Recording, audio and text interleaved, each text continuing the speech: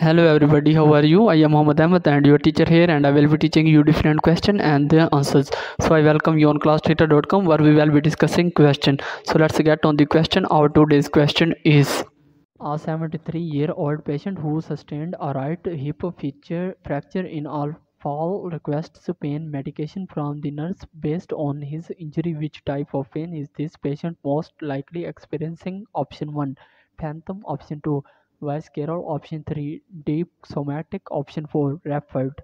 The correct answer of the question answer 3 deep somatic rational deep somatic pain originates in ligaments tendons nerves blood vessels and bones. Therefore a hip fracture causes deep somatic pain. Phantom pain is pain that is perceived to originate from a part that was removed during surgery. Visceral pain is caused by deep internal pain receptors and commonly occurs in the abdominal cavity, cranium, and thorax. Referred pain occurs in an area that is distant to the original site. So that's the correct answer of the question. If you have any question, just leave a comment. I will be answering you as soon as I can. Thank you very much for watching the video.